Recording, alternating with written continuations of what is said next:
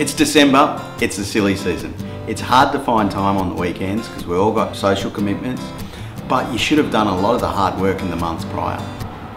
You're now going to start looking at harvesting some of the crops, such as your leafy greens, and now to continue and stagger the harvest, we're going to start planting some extras. In December, the soil temperatures start to rise, so it's a great time to start putting in your chilies, capsicum, lettuce, silver beet, radishes, and eggplant. Don't be scared to start picking some of your crops early. By actually picking early, you're going to encourage more growth, then hopefully going to get more out of the plants.